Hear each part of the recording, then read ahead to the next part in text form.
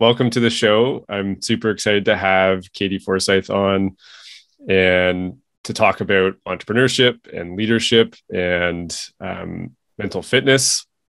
And Katie's the co founder of Friendly Composting up in Kamloops, BC. Welcome to the show, Katie. And um, just for everybody listening, can you give like a really quick um, share about like what your composting business is and how that kind of came about? Yeah, definitely. Um, so we are a weekly compost collection service um, with local product delivery. So we founded in March 2020, right around the time that the pandemic hit BC. Um, I was transitioning out of a, a job and a role that didn't suit me, and uh, came into friendly composting. So we um, basically offer weekly collection of organic food waste, um, and we're offering a solution and filling a gap for our community because we don't have a municipal or city-run program. Um, and then we also partner with local food producers and farmers uh, to bring local uh, food to people's door every week. That's awesome. A lot more community-minded, local support. Um, and I love the yeah like circular part of how it's all localized with composting and food production, and then kind of comes full circle for everybody in Kamloops. Um, so I want to start off just by like hearing your story into entrepreneurship because I think some of that backstory is a really important part of how you probably got to where you are today. Um, so how did you first get into entrepreneurship? Yeah, so it wasn't something that I planned. Um, I went into my undergrad planning to become a school teacher. That's what my mom did.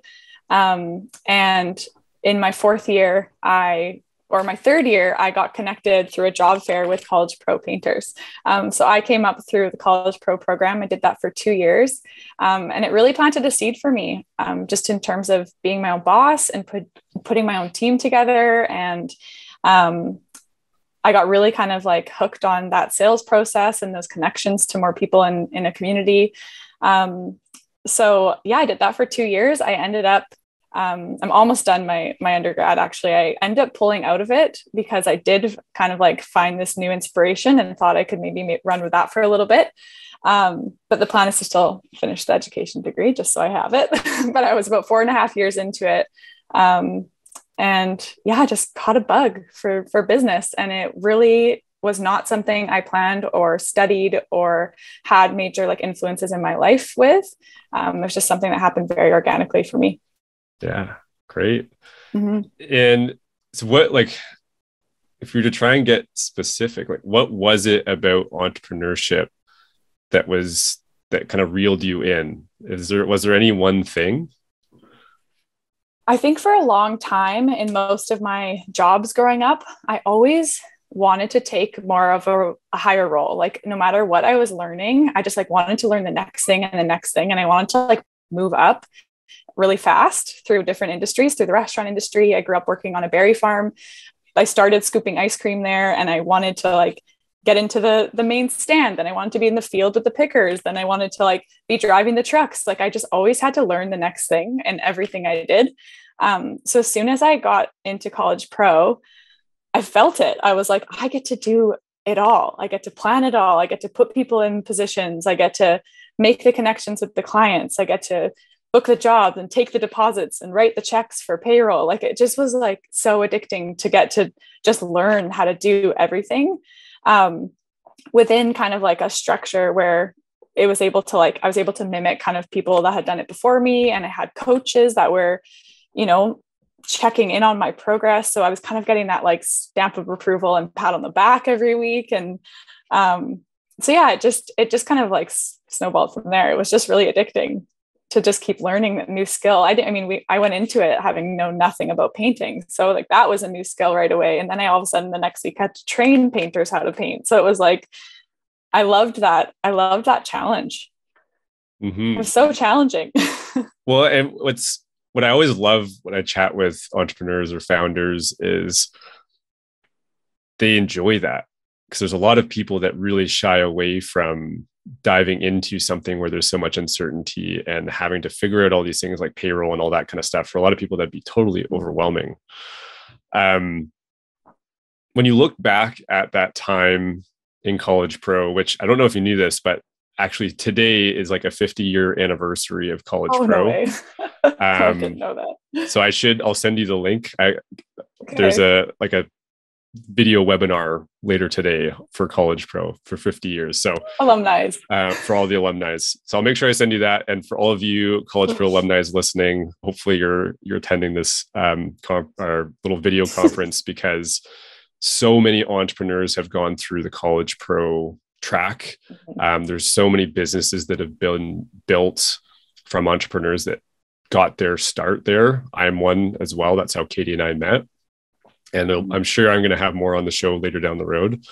Um, but go like just segueing back into college pro, like what was like when you look back at that time, how did like what was the biggest shift that you had yourself in um, going through that experience? Like what was the biggest change that you had?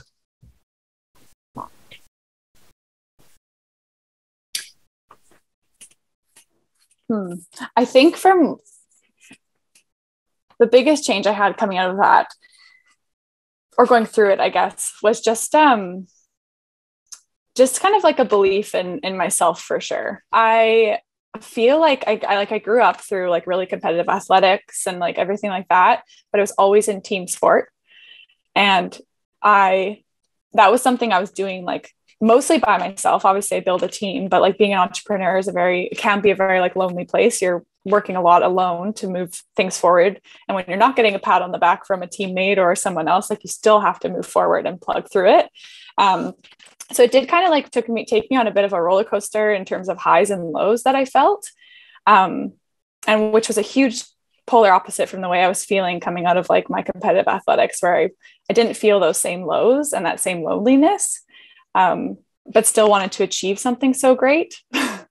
so there was like, it definitely kind of knocked me on my ass for a bit. Like I, it really was humbling because I was like, this is something that I'm really challenge that's challenging me and like who I am. Um, and it totally changed my identity and like where I pictured my life, which we'll definitely get into. But finding my way back to being an entrepreneur was like a really hard chapter. Like I did have to coming out of college pro and taking on just regular jobs again i really struggled like i was like i want to feel that same sort of like passion and drive and challenge but i'm not finding it and then so it was like probably about five or six years before i i came back and and are, have now you know founded friendly composting and found my way back to that but um, it really changed how I thought my life was going to go. I just kind of thought I was going to finish my volleyball career at SFU and become a teacher, and that was what I was going to do. And then it was just like, it kind of hit me out of nowhere and I got really hooked and I've just been trying to find my way back. mm-hmm. Yeah. And, and I'd love to hear a little bit more about your, that in between period. And then, yeah, how you found your way back. Like what was that defining moment? So after college pro, mm-hmm. um, where did you go? What was that like?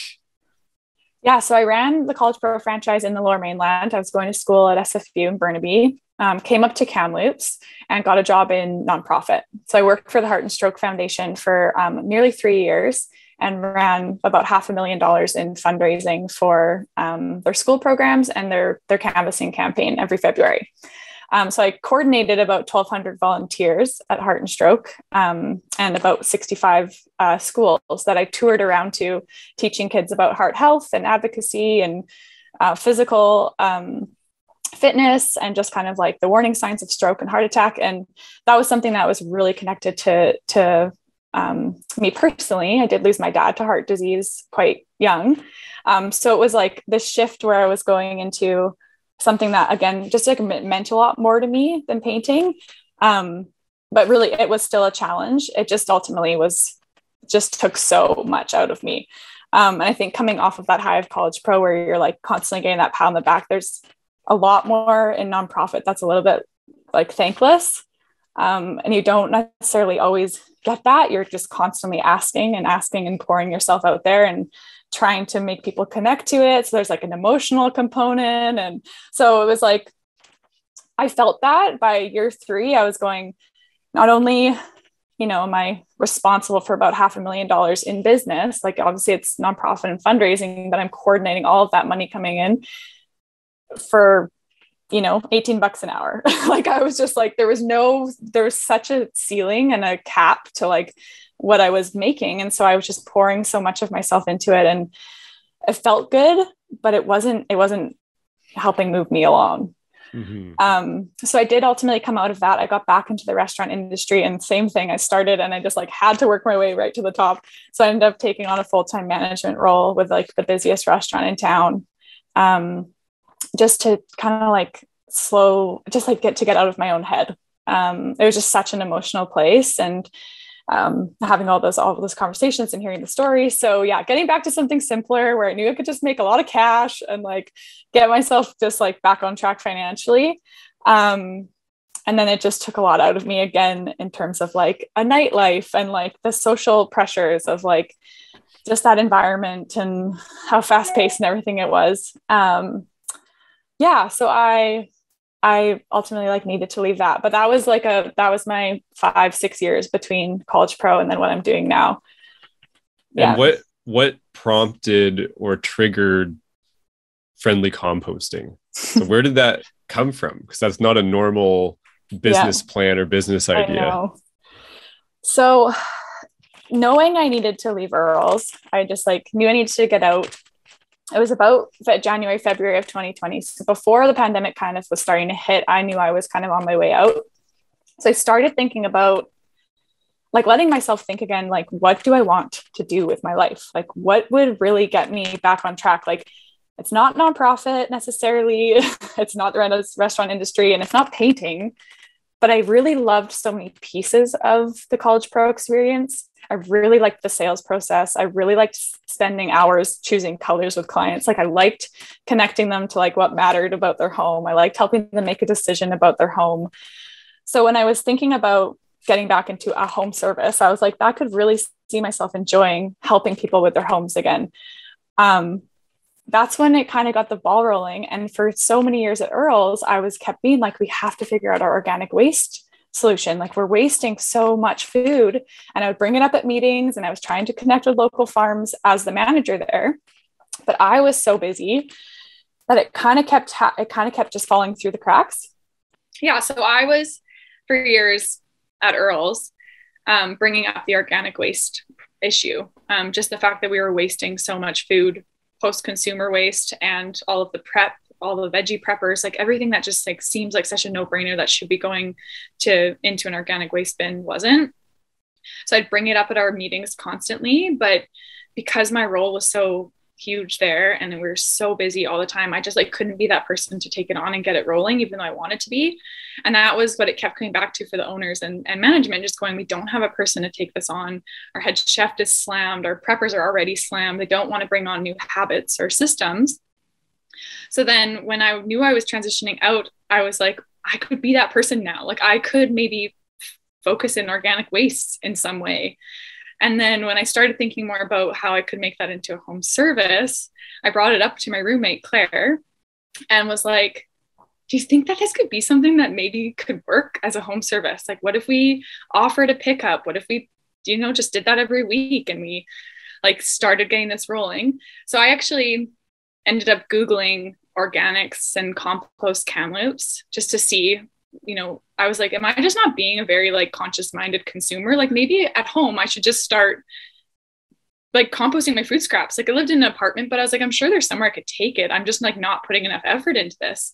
So Claire and I almost like super naively just like collected our food scraps for a week. We filled a bin and I drove them out to it's called Cinnamon Ridge Compost Facility in Kamloops. And I get there and they basically go we don't accept food waste. Like we're a yard waste collection. Like if you bring your leaves every spring or whatever every fall. And uh, so i just like turned around and called claire and was like they're not taking our food waste. Like we're, it's we're not the problem. Like there isn't a place in Kamloops that you can take your food waste to, even if you were motivated to do it. I ended up like pulling over on the side of the road, found this lovely woman in a community garden, and was like, Do you mind taking my food scraps? I've got this big bin of it. Like, and she's like, Yeah, totally, put it in my bin. Um, and I drove home and went, I think we can figure this out. Like, I bet you there's a lot of people in our community who feel the same way. And sure enough, there was a lot of people who felt the same way. Um, yeah. So like that, literally that, that next week we sat down with our computers and built a spreadsheet and started crunching the numbers on it. We started sourcing some repurposed bins. We found like a thousand bins on Craigslist that were old chocolate containers that we like hand scrubbed, hand stripped every label off. We drove down to Vancouver and back in like one panic day because it was like during COVID. We like didn't see anybody. We just drove right to this warehouse with this like random guy named Dave and packed our car up with repurposed bins. Drove back to Kamloops and then basically just voluntold our friends and family to like take a bin and we told them we'd be back next week to pick it up. We didn't really even know like if we would. um, yeah, and so we got connected with a, a farm. And as soon as we had the kind of green light on where we were going to process it all, we just checked it into community groups and Facebook groups and when we can pick up your food waste. And yeah, and in less than a year, we had over 500 homes um, subscribe to our service, and we're sitting closer to about 700 now at about 18 months in. And um, yeah, so there was there was a solution, and a lot of people wanted to use it, and we turned it into a home service somehow. mm-hmm. Yeah. What's been the the most fun part of the journey so far? I think it's got to be the challenge of just figuring it out day to day and how we did grow super organically, just kind of like through word of mouth. Um, but it's been like just growing really steadily, really actually I'd say pretty fast. So there's just like always a bigger challenge on like the logistics of picking up all these bins every week, where we were going to clean them because we offer a clean bin every week. So it's just been um, really fun to figure it out as we went. And um, yeah. And how, and how big is your now, team now? We have uh, 13, 13 people on our team now. Wow. So we have four, four in full-time management and um, nine part-time drivers. That's yeah. great. Mm-hmm. Um, so the, the flip side of that question of what's been the most fun, it's like what's been the most challenging or stressful part of of this Hmm. I think that probably the most stressful thing. Um, oh man, I could honestly, it could be even the same answer. Um, so one of the I guess, one of the most stressful pieces of this is that early on we we did reach out to the city to find out if they were going to be offering an organics waste um, service in the near future. It hadn't landed on anyone's desk yet when we reached out. And so we just kind of kept in the loop with them. And they are rolling out now a program in, in about two and a half years. So it's always been front of mind for us that we've had to kind of like choose when and how to pivot the at least the residential program. Um, but I would say a lot of the challenges happened kind of with financial constraints upfront, um, with like lack of lack of funding upfront, finding grants and and sort of like that upfront cost, um, getting loans in place for equipment and and just kind of like how because we grew so fast, we like didn't have a whole lot of time to like build any sort of like credit or like anything like that. So it's really hard for us to kind of get loans right away um, to invest in infrastructure upfront. We kind of have slowly added things to um, allow for us to take on more. But the volume of food waste that we're taking on now is just like tenfold what it was at the beginning, and it is heavy. And um, yeah, I think if we had got secured some of that upfront, I think it would have been a lot more helpful to us than taking the grassroots approach. Hmm. And what for you has been like? So inside of eighteen months, this business started from zero and you're you're at 13 people on your team like 700 houses like things are moving fast safe to say what's been yes. the challenging part for you personally in your role like what have you struggled with or like that inner game of business side of things. Um, what's been challenging and what's um, what have you been working on? Yeah, so when we were growing as fast as we were and we were starting to bring new people onto our team, I did struggle with um, letting go of like my how heavily involved I was with the day to day operations. It took me a lot to get to a point where I was working on the business and sitting back and kind of like planning bigger picture moves and pivots and things like that.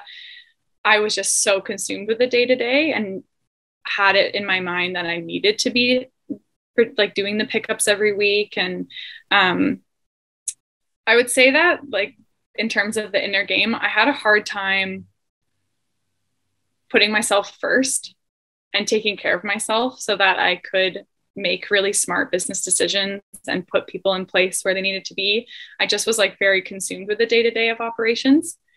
Um, so it took me, it's taken me, it took me probably a full year to like really wrap my head around the fact that I needed to like bring on more people and and let go of being at every door every week and picking up just because for the first eight months it was just me picking up all of the compost until Claire came on full time and then we did it together. Um, so I did struggle with like delegating um, certain roles within the company and allowing myself to kind of like work on it and be planning what comes next and keeping keeping the ball rolling.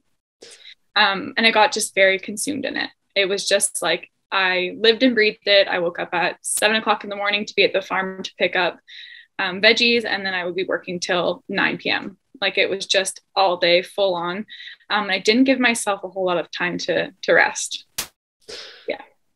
And what like so what's helped in that being able to let go? Because this is something that a lot of business owners and entrepreneurs get hung up on is they are the person and then that person needs to change. It's like who they are in the business and that identity with what you're doing. What's helped you through that process?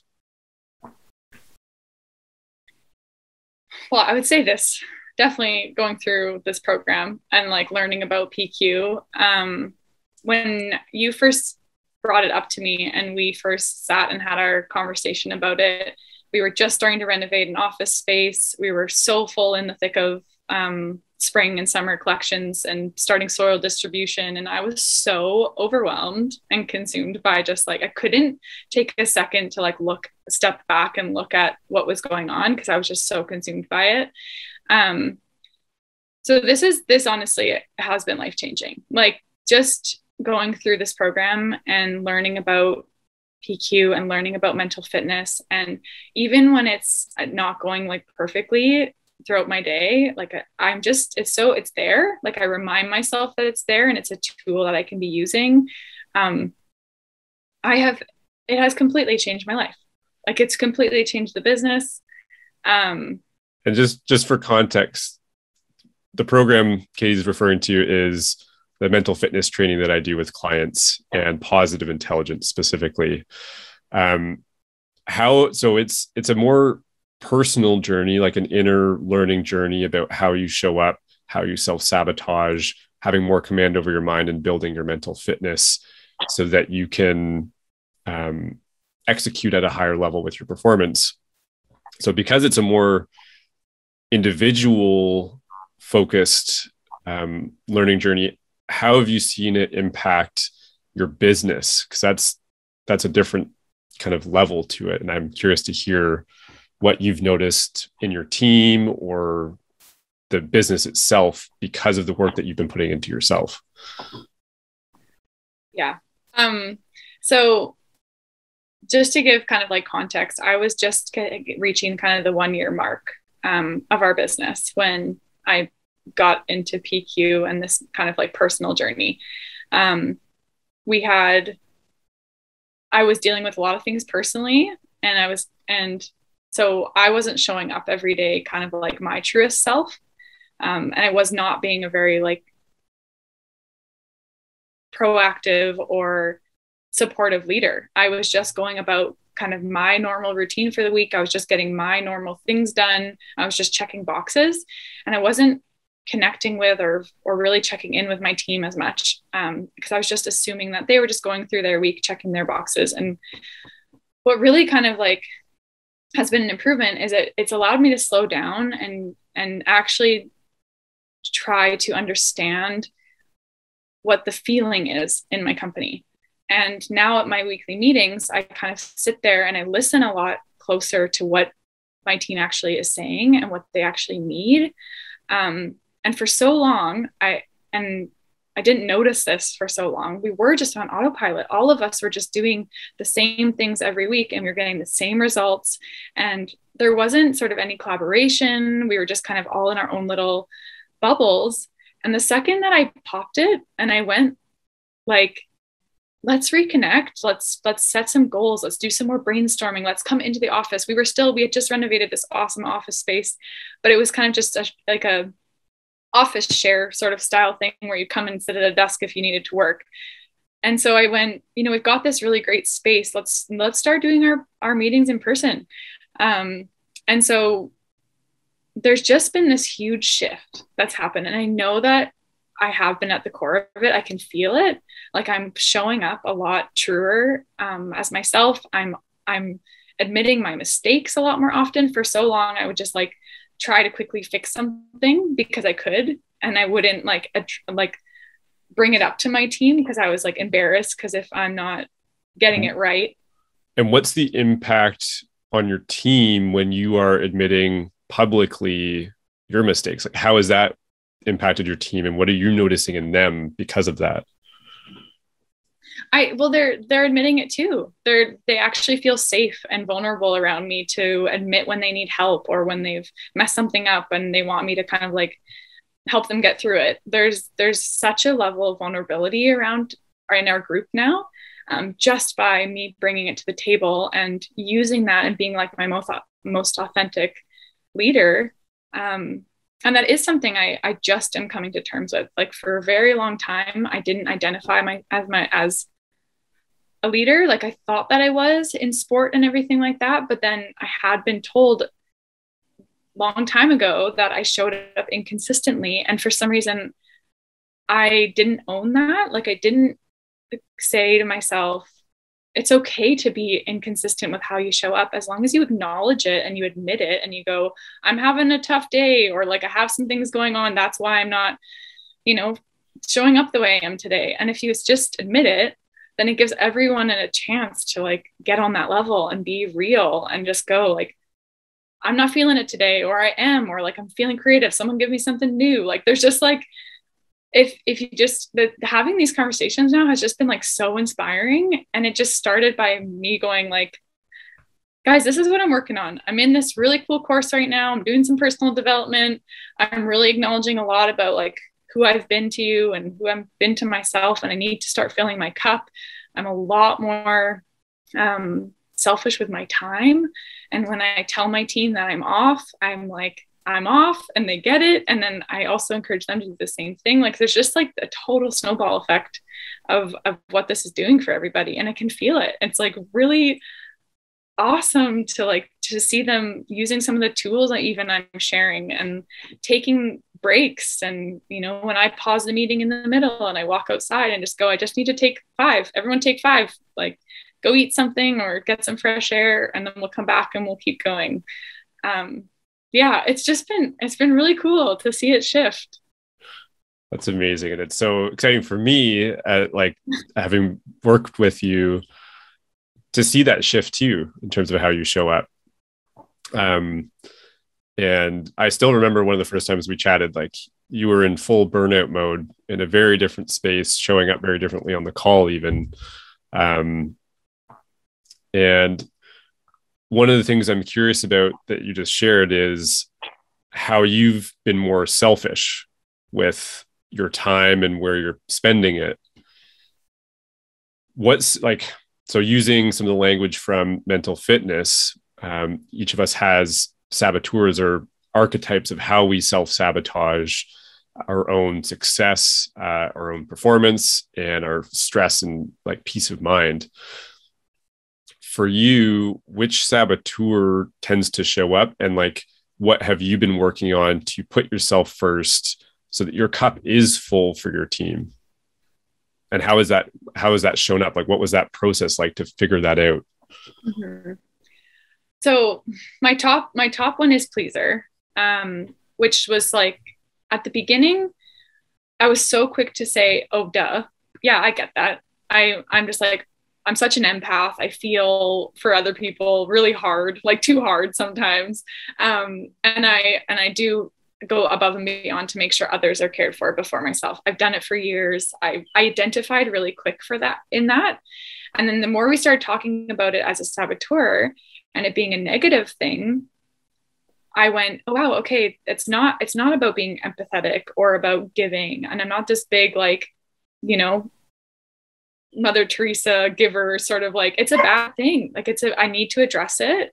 It's not actually giving anyone something positive because I learned a lot about the way that it's actually causing you know distrust because I'm inconsistent or um so yeah so learning more about the way that my pleaser was holding me back and it actually wasn't allowing me to have authentic relationships with people um, was very eye-opening because I, I did see it as a positive for so long um, and then connecting that to like the judge which is another saboteur that everybody has um, i started hearing the way that i was talking to myself when i was being a pleaser. And that there was this sort of resentment towards people when i was giving and giving and giving and wasn't feeling like i wasn't getting the same back. It was causing resent- resentment or i was expecting things back even though i thought i wasn't. But i was i was constantly disappointed that people weren't treating me the same way. Um, and, but I wasn't treating myself that way. So I was just like this eye-opening moment where I was like, if I'm not become being a pleaser to myself and putting myself first, then why why should I expect other people to? And then so many of my relationships um, with my family, with my best friends, even that was the expectation of who I was to them, and so they didn't expect they didn't notice anything different, sort of, in terms of like them having to do something back to me because I never asked for anything back for so many years but then I could I could see how there was like that buildup of that resentment and, and disappointment. So um yeah, I, I it was that shift that happened where I was like, this is a bad thing. Like pleaser's not a good one. There's no good ones. um well and and something to I want to distinguish is all of these archetypes, it's just like a simple way to make sense of how you show up. And we're all a variation of them, but they're built off of subverted strengths. And what happens is, so for you, Katie, like pleaser, that's also one of my top saboteurs. And it's built on a strength of being able to give and kindness and putting others first and um, connect. Like it's a very connecting type of person. Um, but it gets overused and abused. So you start doing that so much, but from a negative emotional place where it becomes this default habitual mode and I know there's other business owners out there that do this. And it's not so much um, that it's just a bad thing on its own, it's that it's been tainted. So you've been giving to your business or you've been giving to your employees so much that your cup is empty. And it's so empty that you can't fill their cups back up as a proper leader and that's why it's just such like a paradox of being a leader is there's this mentality of being selfless of being a servant and giving and providing um, as a mode of leadership which is a, an amazing trait for leaders but it has to be done from a place of having your cup full enough to do that. And i think that's one of the things that i notice so many people struggle with is we're that's our default mode where we just we give and give and give but then we get burnt out and then we go through these cycles where it's just like this roller coaster where you give and give and give and then you burn out and you flatline and then you kind of crawl your way out of it and then it just kind of keeps happening because it's this cycle that you haven't been able to break. Um so true. And looking back like retrospectively to my time in college pro or my time in uh, sports wanting to be like a captain and things like that like i'd look back and go I just I wasn't being a leader because I wasn't showing up for myself or I wasn't setting ex- like high examples for you know a, a, fitness routine or things like that. Like i wasn't leading by example in all those times. And with college pro even i was so consumed with like making sure like my culture was good and my painters were making money and all stuff. And i made probably half of what all my painters made that summer. Like i didn't care enough about myself first in so many instances. Um, so it's really, it, I'm feeling it so much more in, in the culture I'm building with my company. It's way more authentic to like me because I'm showing them that I'm showing up for myself first and I'm putting up boundaries and I'm sticking to time off when I say I'm going to take time off. Like there's, there's a huge shift that's happening. and I think it's so important. I just want to double down on what you said too, because often as leaders, I've noticed that we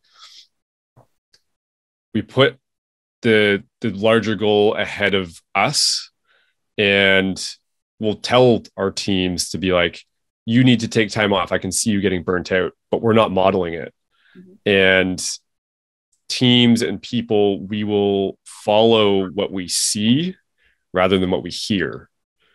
And it's something that I've really had to focus on for myself. Like even in my coaching, is I can help a client with something and I can try and communicate an idea or kind of help advise them when they're looking for advice, but kind of coaching them. But if I'm not modeling that myself, um, it, it comes through. And it comes through even in how I coach. So one of the things for me is when I'm not, um, so if my judge or saboteurs are at play and I'm I'm feeling down and out, like I'm not I'm not coaching well enough. Oh, like I said that question wrong, like that didn't land, and like that kind of negative chatter starts to happen. That energy shows up on the call, and that gets communicated to to that other person, so that I'm not modeling it the same way. Um, so i'm curious like right it's such a safe space in that program where you can admit that. And the fact that you admit that is really helpful for us sitting there going oh my god these things are coming up for me right now. Like i'm having serious hijack moments where i'm just like feeling a lot of things at play and i need to and my judge is coming through because you said something wrong. Like the fact that you allow us to bring that up and kind of like mimic what the outside world could be like if we actually were just honest when things are are um hijacking us or our saboteurs are coming up like it's it's a very safe place to try those things out. I know that you say like sometimes that comes up for you but the fact that you say it allows us to kind of do the same. And it's something that's really been increasingly important for me is to normalize this stuff. Um, that's why i'm so passionate about coaching this and training people with mental fitness and and going through all this stuff is it is a normal experience. We just don't talk about it. These are all things that like I'm sure there's so many people that can connect with what you were sharing about how you were showing up as a leader and being burnt out and going through these cycles and just putting everything ahead of you except for you. Um, and, I, it, and so often like identify as like the workhorse, which I think probably a lot of entrepreneurs do. Like mm-hmm. you're like mm-hmm. the example, you're the workhorse. You're the one who is putting in the most hours, and you're like you're moving this thing along. But and like that's for so long, I was like, that's why I thought I needed to be so heavily involved in the operations every day, like just dumping the bins and cleaning the bins and showing what kind of like pace I wanted everyone at. And like I was the workhorse, and like and at the end of the day, like if you put the right people in the right roles, they're going to be, they're going to work hard for you. You don't have to be the one showing them exactly like how to do it. And then it was just exhausting because I had all of those other responsibilities to make sure that the business was running, but I couldn't let go of that need to be seen as that workhorse. And I was really tired. like, yeah, really tired. yeah. And it's not sustainable. No. And I don't think I was having any sort of like I wasn't present. So I don't even remember having very like sincere or meaningful conversations with my people because I was so tired and I was just working beside them instead of now when I'm like checking in on things or I'm like actually sitting down with with our team, I'm going like, okay, I hear you and I can feel you and I'm present and I feel whole. Like I actually can vibe out a room and vibe out the like what the what the team needs um, versus just putting my head down. So th- this is a really cool thing that you're bringing up, which is around how you're listening, which is such a core fundamental skill in building a business and leadership. And I think it's a somewhat of a lost art. Um, often people are always talking about, oh, you need to be a better active listener. And and I think it goes way beyond just the tactic of active listening how does that show up for you in your team meetings? Like what do you do before you go into a meeting? And how are like what what are some of the strategies or things that you're doing and paying attention to to really hone in on that and work with your team? Okay so i would say so just for context of this program they make you they make you you get to work on your highest most obvious saboteur for like a big chunk of it. So my pleaser got a lot of attention because i'm was working on kind of opening up and figuring out and because i identified with it it was like a very easy one to learn about in theory. Um, but what shows up for me day to day are two other ones. So there's hyperachiever and stickler that i battle with every day. And those are the ones that i'm now having to use like my activate sort of um, practice on in the morning and go like how is it how are these things going to show up for me today? I have such high standards for myself and that was why i had a hard time delegating because i wanted to make sure everyone like would uphold these same standards for me. So when i'm going into my day i go like i'm going to make sure today that i when i feel those things coming up and i feel like my standards are too high for myself i'm going to start admitting that so that my team doesn't feel like I have these huge standards for them because I don't I don't have the same standards for them. I know that's like a bad thing to say, but like when they make a mistake or they bring a a piece of work that they're really proud on to proud of to me for feedback, I'm super quick to identify what's great about it and maybe I do offer some feedback. But it still might not be where I want it to be. I just have a hard time like communicating that. So if I can stop myself in those tracks and go, okay, this is good enough. Like, let's move it forward. Let's get to the next stage. Let's let it go. Then my team can like start doing that. I just, I started to identify that as a problem because I think that they were really nervous to show me what they've been working on because I have very high standards for myself. And so now I'm like sitting and I listen to kind of like what they need from me in that moment. And like, I'm just a lot more aware that that they see that that they feel that from me. Um yeah so so what i'm hearing is like your need for, for perfection was more focused on the work that you were doing. Yeah. And um the way other people saw you with yourself they were worried to bring you stuff. So it was almost feeding their perfectionistic tendencies and negative there's a lot of negative emotions around like oh shit is katie is this good enough for katie because they can see you doing that with yourself where it's like yeah. what katie's doing isn't good enough for katie. Yeah. Um which is such a fascinating like trickle down of how you show up as a leader and like leadership. Um one of the other things that was coming to mind for me was um like the impact this has on the productivity and the performance of your team when you actually do let go of standards because there, i think as a business owner there's always these standards of things need to be at a certain level um, because you need quality and you need to hold accountability. And then the other side is the idea of done is better than perfect and that you need to be it's an iterative process. It's not one and done. Like you're constantly updating and changing these things that people are building what's been the impact on your team and what they've been able to do without you because you've been working on yourself selfishly which is kind of a weird concept to consider? We are absolutely rolling right now. Like i am it the juices are flowing. We're getting projects done. Like we i it has been tenfold like different. We are absolutely rolling. It's like the best feeling. We're being so much more collaborative.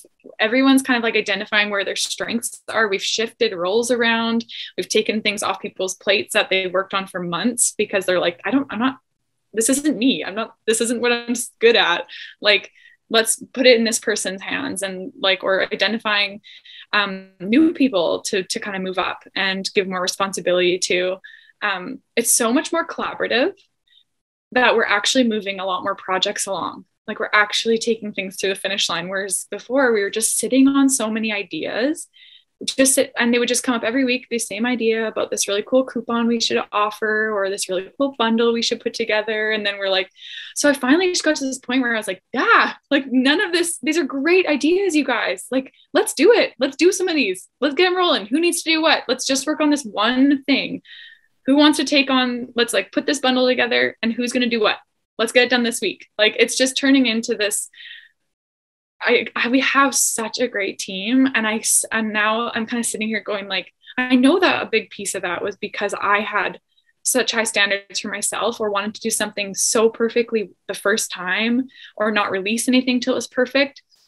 And now we're realizing how many times we can do something like we can keep we can let it go and can show our community and we can release a bundle. And if it didn't work like who cares? Like it's we'll just do it better or we'll learn something from it. There's so many opportunities and gifts and that's like a huge thing about this positive intelligence that's totally changed like the company dynamic because i've gone through it is like identifying what these gifts are and these opportunities by letting go of them and learning. And like it's just it's really fun like we're all having a lot of fun again which is like how it all began when like Claire and I were tackling all those challenges and making tons of mistakes. Like we made so many mistakes at the beginning when we founded this. And then we were having fun still. And then at somewhere along the way, when we were going through burnout and we were trying to, you know, be too professional, like it was like, let's just go back to the core of like what friendly composting was all about. Like it's this messy organics company that's super grassroots. It's a lot of really cool, like-minded like environmentally focused people that are having a lot of fun diverting food waste and like solving a problem. So it's just like we've gone back to that and it's just like so much more fun. yeah. Just, yeah. And I can see it on your face too. Yeah. Like the first time we chatted, it was a very different look and energy. Um, and and just for for any listeners out there, I think what I want to try and pull apart from what you shared is early on there's this spark that you have and there's this natural energy and momentum. And it starts to get tainted with your survivor brain. Like you start to get more tired so you start thinking more negatively and you start to motivate yourself through these self-sabotaging patterns that can actually create success i think that's one of the traps is like your pleaser how you how you show up as a pleaser actually gets you a lot of things and it's gotten you really far in life. But as you're building a growing business those limits or those ceilings of what's possible using those old strategies become apparent very very quickly. Um, and that's when you start to hit burnout. That's when you start to have conflict with teams. That's when you start bringing things home you start to kind of question your your abilities and what's possible and like did you make even the right decision to go back into entrepreneurship? But that's what i see as a thread throughout a lot of the people that i work with is it starts somewhere and then it just starts to like fall apart. And it's because at the root level you're just using a different part of your brain and motivating yourself through these negative strategies and as you start to like address those mental patterns you get to the root of it. And i think that's one of the things that I'd, I'd love for people to just sit with is it's one thing to hear katie talk about this and it's a lot of stuff that sounds so common sense of like oh yeah like let go and delegate things to your team and make sure you look after yourself. And like it's all these things that we know intellectually and like conceptually but it's so much harder to implement and embody because our mental patterns are not that way. And it it's like going to the gym. You have to like put in a lot of time and effort to like create those new mental connections so you're not so you're actually doing it and being it rather than just talking about it or like understanding it conceptually. And to take that one step further in terms of the delegating yes it's so simple to go i need to i need to sleep this afternoon. Like i'm i'm straight up tired. You go do this versus like actually giving someone ownership over something and going i'm going to actually coach and support you to take this on for me indefinitely. And whether you choose to coach and support the next person to take it on from you, I don't need to know. Like, I want it just off me, but it needs to still be like a, a you know a productive um like role for the company. Like it still needs to be moved but it's there's just it's different than just it, going and you do this task for me. Like it's so much deeper than that. And if you don't have the capacity to actually admit that like admit you need help with it and then know how to take it off of you like mentally physically like not wear the weight of that task or role anymore like that's when you start to feel like energy again.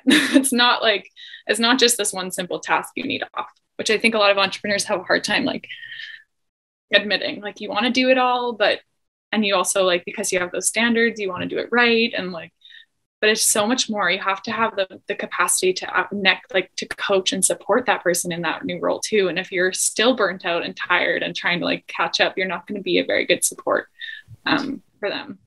Yeah thank you for that distinction because often i hear like there's delegation where you can delegate something well and then there's like you abdicate where you're just like somebody else just does it. Like you just do it and you just like peace out and run away.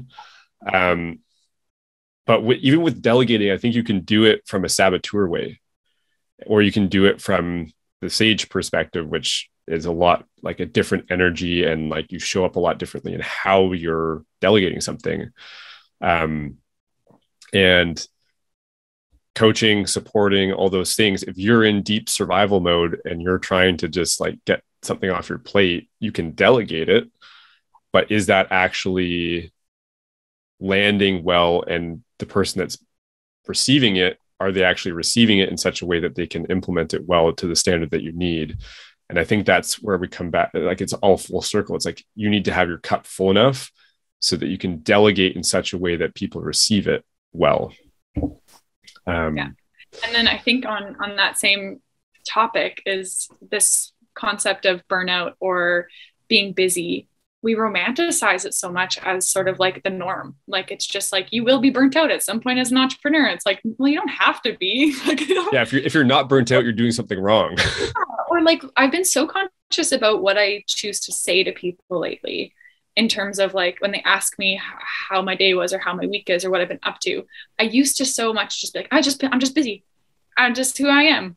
I'm busy and I'm always busy. And now I'm just like, it's not uh, like it's not something I should be proud of. Like it's not it's not actually something that's moving anything forward. It could mean a ton of different things.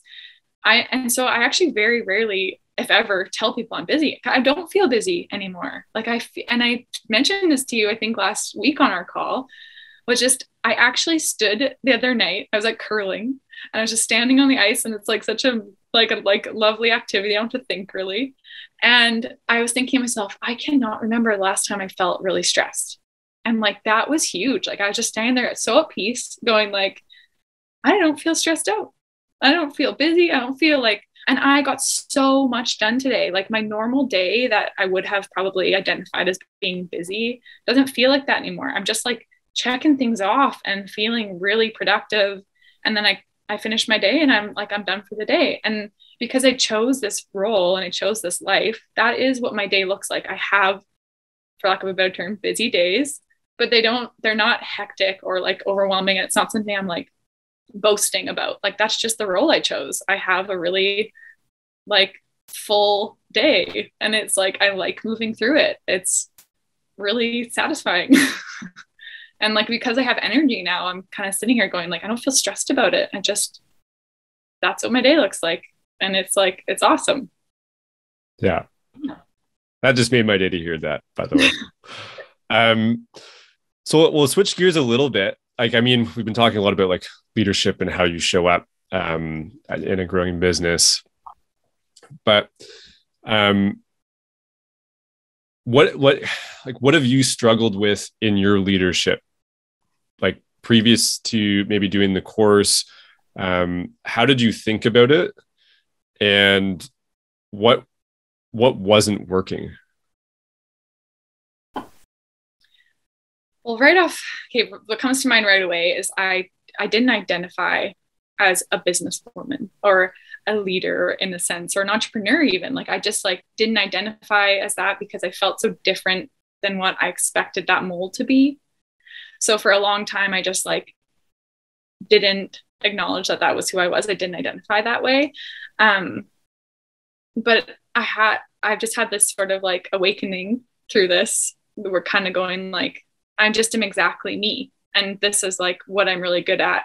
And I really like, you know, putting a team together, building a culture. And this is who I am. Like, as soon as I start owning my identity as just me and like whatever version of like entrepreneurship or businesswoman that I want to be is exactly who I'm supposed to be. It's not, there isn't a mold.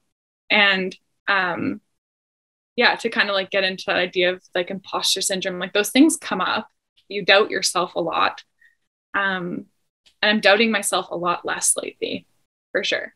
Like coming out of college pro, I, I just doubted myself so much. And there was a few times where I felt like a lot of like heartbreak over like not being noticed or being compared to my male counterparts who were you know maybe getting chosen over me for things and just overlooked. And i just like have come back to kind of like at the core of who i am and like how i want to run this company and not like waiting for anyone else's sort of like opinion or advice. Like i, I like to take advice and i'm not like saying i don't.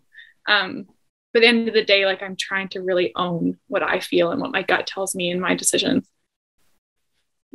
and what what's been working for you with that? Because i think in business um so much especially today it's like rely on data be analytical make smart decisions consult people and that intuitive knowing it's almost like there's this mentality of it's it's not to be trusted. Um and it's something that i am so fascinated with. So i'd be curious to get your take on how you balance the two between making smart business decisions but also leading from a place of intuition and um, like a deeper sense of knowing. I think for a long time i felt if i didn't like i didn't go to business school i didn't learn how to formally do finances or payroll or bookkeeping or anything like that. Like i've just really learned organically as i've gone through this process. And i felt very threatened by people who did know how to do those things, um, it would make me feel very small. Like if I was going into a conversation or a web, like a call like this, and it, you know, I was on with people who were business experts. So they say, I would make myself feel small. Like I would not be as confident outwardly telling them about my my processes or I wouldn't feel confident talking about my financials because I was so afraid that they would ask me a specific term that I like just didn't know. But I know my financials like like inside and out. Maybe I'm not the best like building spreadsheets and putting that all together, but I know what my business what my business is. Like I know what things cost. I know what how much gas we're spending every week. Like and a lot of it is intuitive.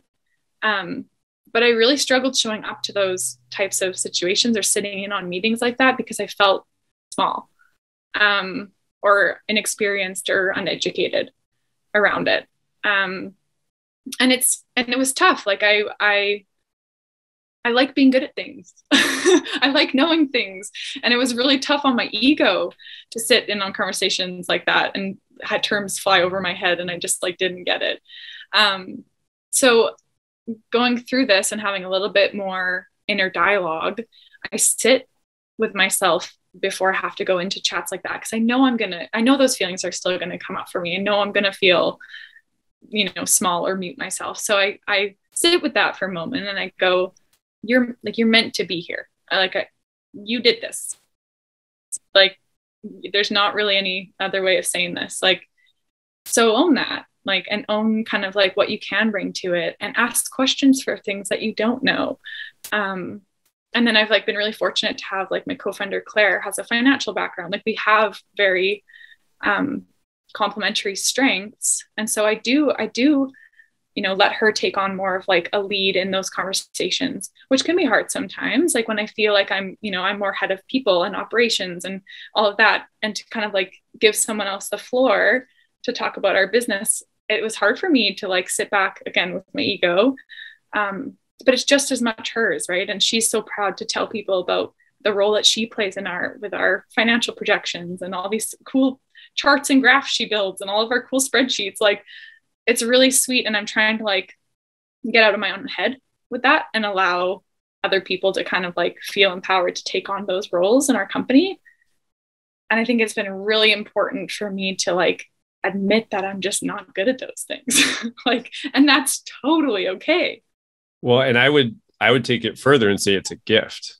Yeah. i think that's something that um it's really hard to do as a business owner or an entrepreneur or any any kind of high performer. I always talk about entrepreneurs because that's the space that i'm in but like there's probably a lot of like professionals that are just high performers as well. And there's this for me anyways i feel like i never know enough and i am always wanting to learn because i enjoy learning but i do it in such a way that it's saboteur driven in that like it's a negative motivation. It's like i don't know enough. I need to c- consume. I need to learn more. I need to learn more. And it's not for the joy of learning quite the same way because at the heart of it is a bit of a fear of like i'm not good enough yet. And what's helped me is to just flip that on its head and look at my weaknesses as my biggest gifts so for you to hear like oh yeah like i didn't go to business school i didn't take these courses um, I know my finances, but I'm not like a finance whiz. It's like, what if we start considering those things to be our biggest gifts in our businesses? Because for me, anyways, if everybody's thinking the same way, that's very dangerous in a business. And the other thing that I've noticed too is because I, am the same way, I'm not necessarily like a business um, graduate. I didn't go to business school. I have good fundamentals and but I ask questions that other people don't. Or I I ask the stupid questions and a lot of people are like, oh, I actually don't really know. Or like they give me some weird answer and I'm like, where is this coming from? And like it really actually dumbs things down and I get a more simplistic answer. Or other people in the meeting are like, oh shit, I didn't know that answer either.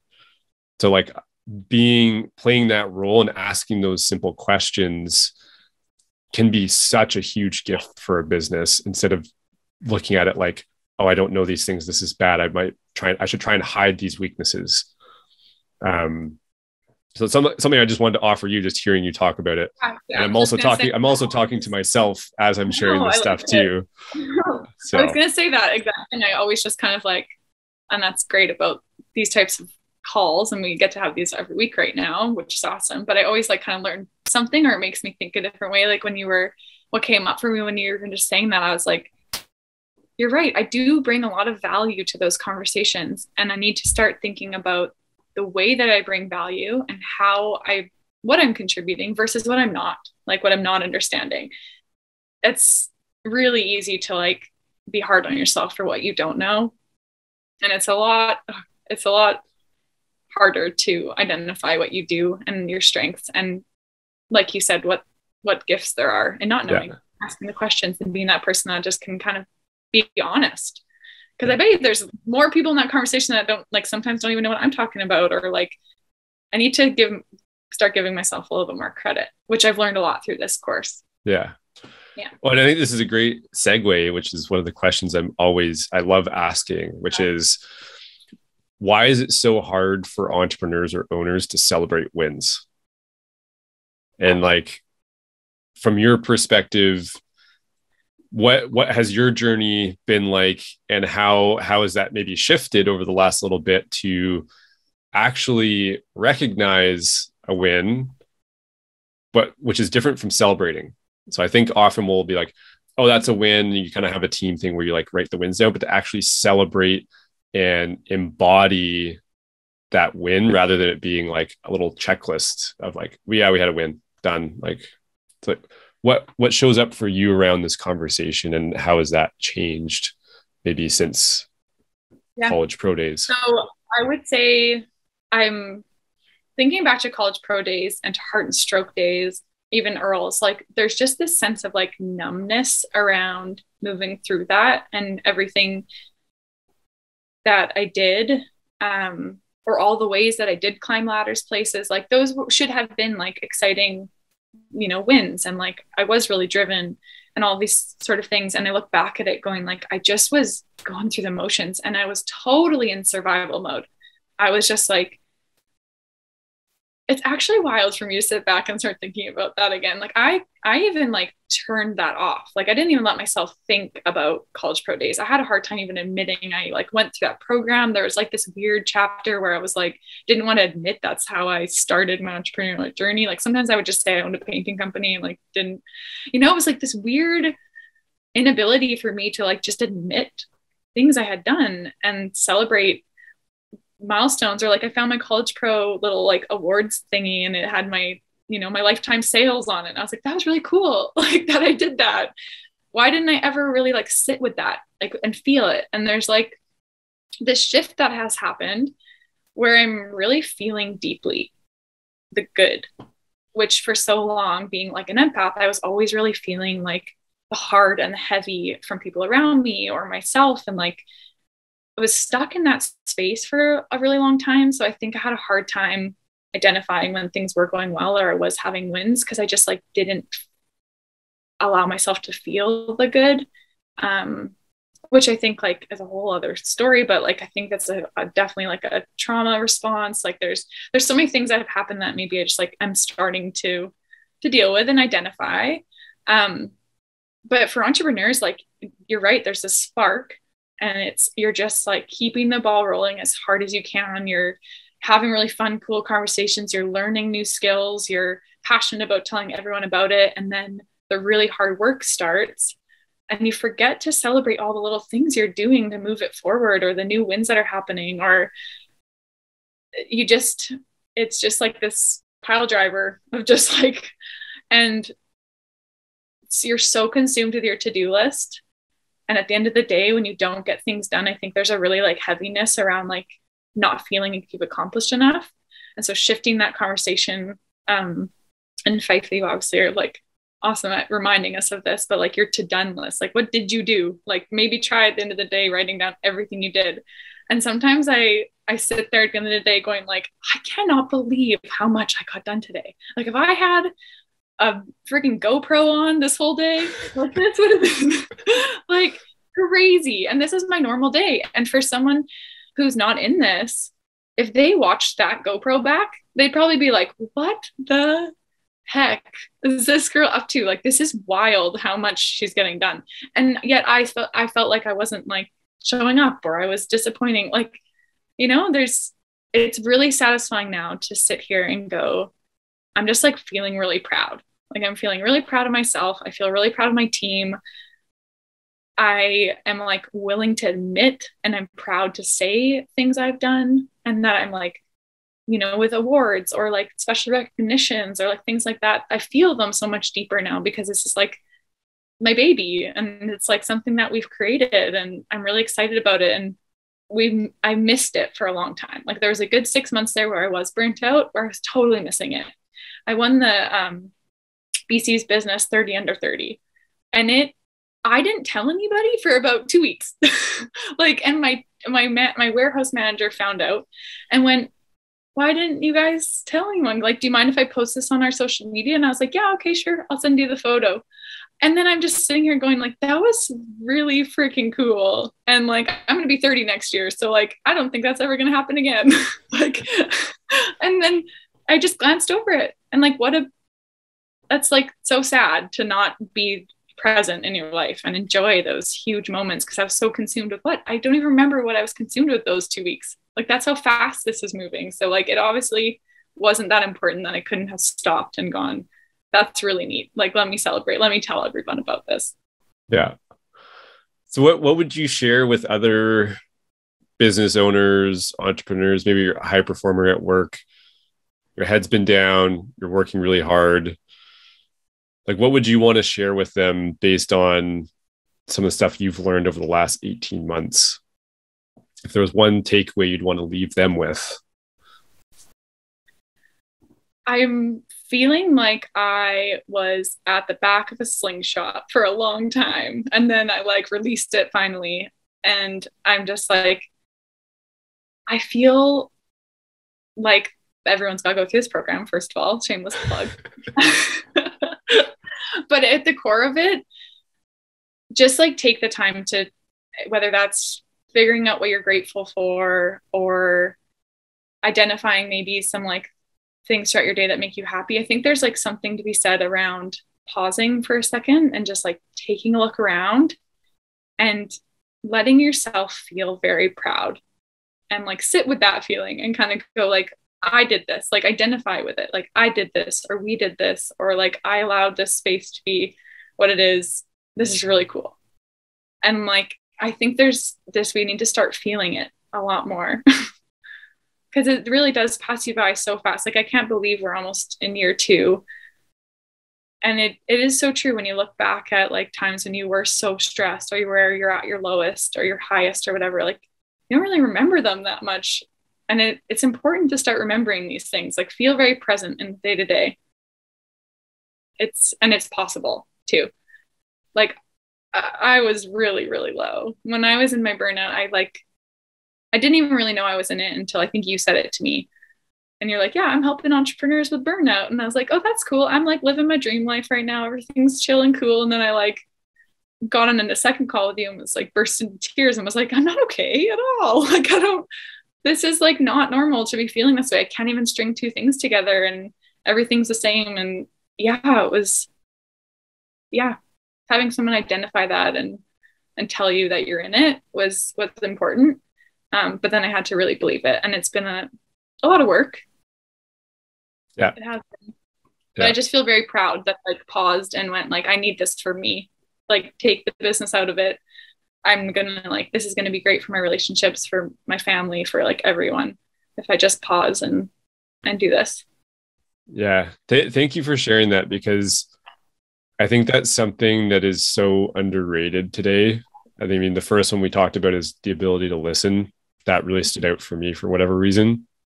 But two, creating space and silence. I think today, like there's so much information.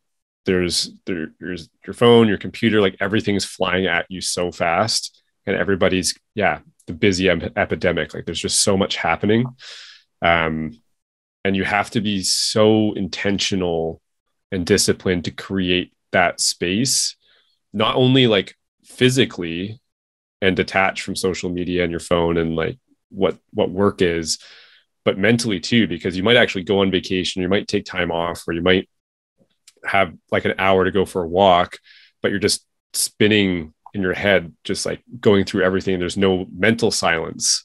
Like you don't actually slow down mentally. Like it almost speeds up in those times i think. Um well, when so, i first started with you you were doing you just said all you said to me was it's just 15 minutes out of your day. Like through the whole day you're going to take 15 minutes to just like be quiet. And I was like, that sounds really nice. And then when I first started them, I was just falling asleep. Do you remember that? Every time I was doing my PQ sessions, I was falling asleep. For the first like probably two weeks, I would lay I, I kept laying down to do them because I felt like it was a meditation. I'm a lot more intentional with with them now, but I would just sleep. And that's what my body needed. And that's when I started to be like, oh, I'm I'm coming out of something really deep here. Like I'm exhausted. I can like, and this is exactly what I needed. It, it was just like five minutes every two hours to sleep for like, and then I'd wake up, make myself up and, and or I'd let it go. I'd sleep for an hour, but just acknowledging that and going like, that's how tired I was before. Just, yeah. just being like two minutes of quiet time put me like totally like, yeah. Surprising so. how much that can do. Yeah. Um, so I want to ask two quick questions in a thunder round. So it's my version of a lightning round because it's not a true lightning round. Um, if you could have everyone in the world read one book or have one similar experience or or thing that they do, what would you want them to do and why?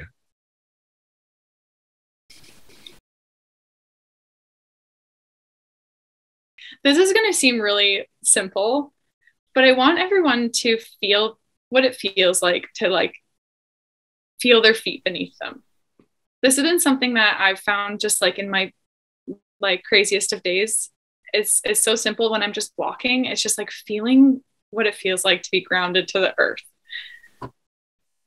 I know it's simple, but like it feels so nice to just like take a moment. And I know it's an example of a PQ rep, but for those who like aren't practiced in it or know what it is, like that, just focusing on that physical sensation has been like huge for me.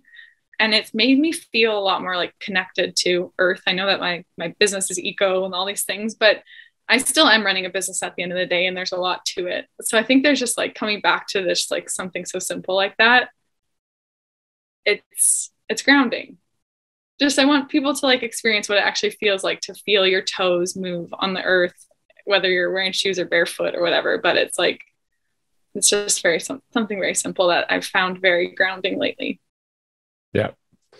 I think some of the the simplest things are often the most profound mm-hmm. and are the hardest to do.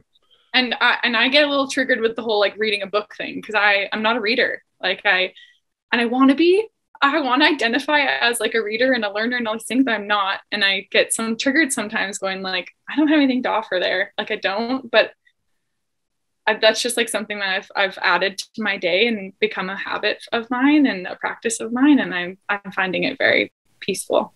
Yeah, no, that's great.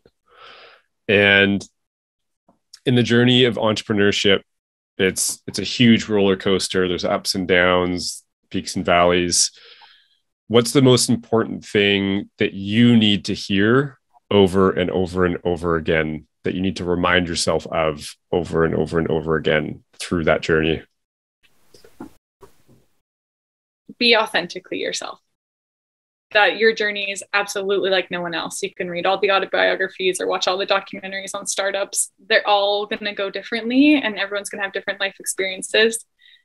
I have to remind myself, like, constantly that what I'm doing and my authentic self and my truth is exactly what's going to get me to the dream life that I've always wanted. And that's why I'm in this to start with. Um, so, yeah, just remind yourself of that. That's great. Um, and floor floor is yours. Like how how can people find out more about friendly composting? Um, is there anything that you want to share around what you guys are up to if you're looking for help on certain things with your your business or project like i want to open the floor up um, okay. sh- so you can have a second to share. Okay i love that. Um, so we're we're at a kind of a major pivot milestone right now which is super super fun. Um, we're going through and launching a major rebranding um, huge upgrades and investments in our uh, our web design our um, we call it the composter um, operating system, our software. Um, we're looking into developing an app um, for our users to use. And this is going to be all kind of like really core infrastructure that we're going to use to expand. Um, so if people are in a community that don't have an organic solution that would like friend to see friendly there or a version of friendly, um, whether we choose to franchise or maybe we sell this software for Fyfe's compost and business to take off and wherever. Um, but that's kind of like our next goal is to connect more communities to accessible food waste solutions. Um, we are at friendlycomposting.ca. Uh, but like I said, we're making really big investments in our website right now. So it, I don't even think I've looked at it since the day we like put that website up, which is just so so classic. Um, yeah. And we're at Friendly Composting friendlycomposting.ca on Instagram and Facebook as well. Amazing. Thank you so much for coming. I had a ton of fun diving in. It's always a, a, a rich conversation, and um, we'll chat soon. Yeah, thank you so much for having me. I was, yeah, I'm very grateful to be able to share my story. Absolutely. All right. Take care.